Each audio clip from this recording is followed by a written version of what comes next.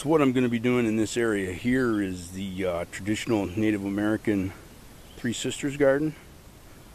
Uh, it's called the Three Sisters uh, because it consists of corn, beans, and, and squash.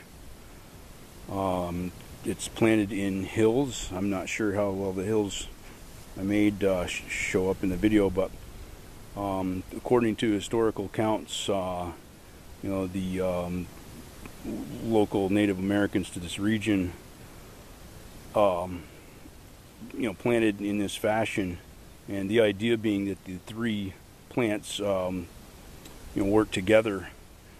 Uh, the corn grows up, uh, and the beans um, climb the corn stalks. You know, the corn stalks act as a as a trellis for the beans, and uh, the squash, which is planted in between the hills, you know, as it grows and the big fan leaves comes out, it shades all the bare ground and, and keeps the, the weeds choked out. So each of the three sisters has their, their job. Um, from the best I've found in my research, uh, you know, this is how it was done. They made hills um, approximately 18 inches across, uh, anywhere from two to four or up to nine feet apart. Um, it varied a bit from region to region.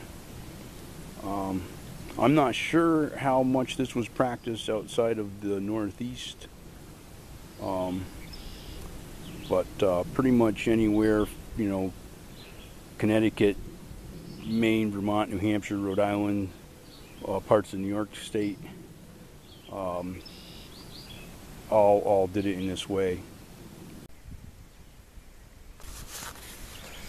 I've got about half my hills ready for the Three Sister Garden. Um, I thought I'd get them all done today, but uh, it's getting pretty dark out here and the wind's picking up and I hear some thunder rumbling in the distance. So uh, I've got half of them. So I'm going to go ahead and uh, plant this half and uh, figured I'd, you know, do a quick uh, video clip.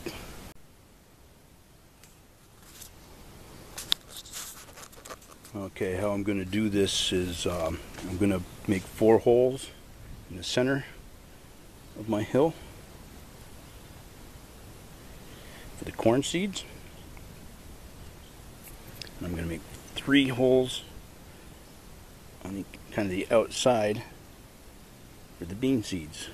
Um, another way the beans uh, help the corn is uh, beans have a tendency to um, put nitrogen into the soil. A lot of times I'll plant beans even um, in between when where I plant potatoes, you know, for that same reason. Um, so the corn is Roy's Calais flint corn and uh, by High Mowing Seeds. High Mowing's a pretty good company. I've, I've, used their seeds before, had pretty good luck with them, but uh, the significance of this corn is this was derived from Abenaki flint corn, Abenaki Native American flint corn, uh, going back hundreds and hundreds of years. Um, you know, people kept this strain going, and uh, the high mowing people, you know, got a hold of it and bred it some more to get the classic attributes. Um, it's pretty colorful, you know, typical Indian corn a lot of people grow Indian corn for decoration. Um, we're going to uh, grow it and, and grind it for food.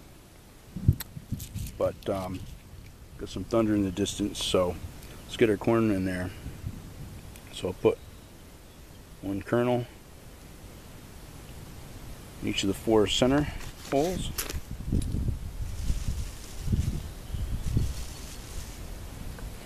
And a bean each of the three outer holes and we'll bury them up.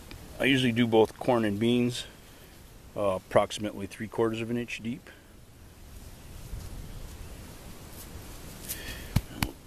pack the dirt down here and uh, they're probably about to get rained on. So hopefully I can get uh, the rest of these hills done before it does.